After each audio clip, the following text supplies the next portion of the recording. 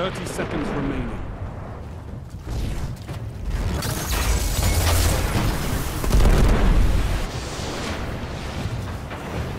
Well done.